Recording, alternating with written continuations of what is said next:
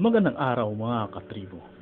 Panuurin po ang napakagandang mensahe na ng ating mahal na Pangulo para sa ating lahat ng mga Pilipino na ngayon ay nakadaranas ng paghihirap sa ating bansa dahil nitong krisis na ang ating mahal na Pangulo, Pangulong Rodrigo Rua Duterte.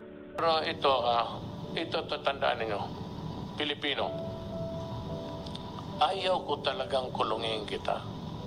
Maski ako dito, tangina, kinulong ako.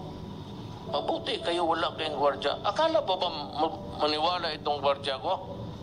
Sabihin ko yan sa alam, minsan pagalitan mo, ah, wala na, na, ko. Ang ah, Sir, ang trabaho namin hindi ikaw. Batas eh. Sinusunod lang yung sinusunod lang namin ang yung inuutos ng batas sa amin. Kaya kung ikaw gusto mo pagkamatay, hawakan ka talaga namin. Pero pag naasar ka, itutulak ka talaga namin sa Pasig.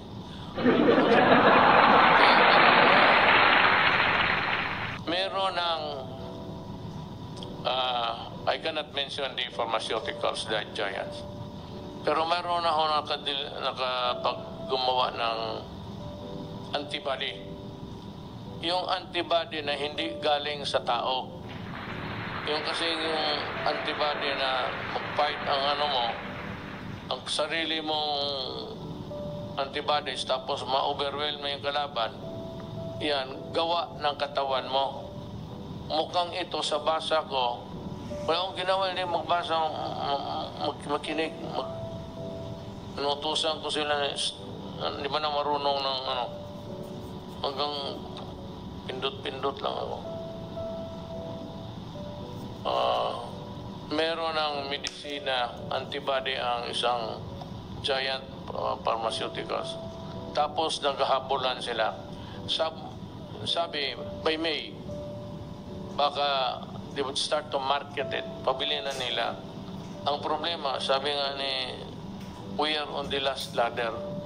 Ang muna niyan yung mga mayaman na kasi marami yan eh, kailangan.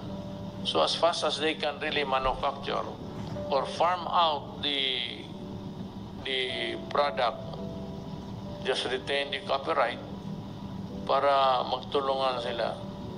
Kung meron na yan, tapos makita ko na ginagamit ng tao, ililift ko.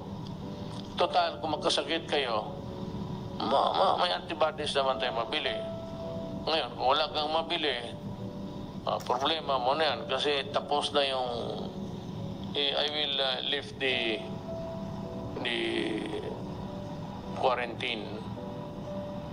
Ngayon, paglabas ninyo, ganun pa man, I would still insist kasi sabi ng mga scientists dito, kinig ako. Hindi yung scientist sa TV ang sasalita na personal. Ah, sekreto ganun pa man. Uh, mask yung sa ano akin?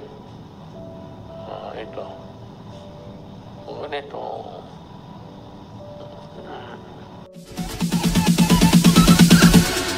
Bounds.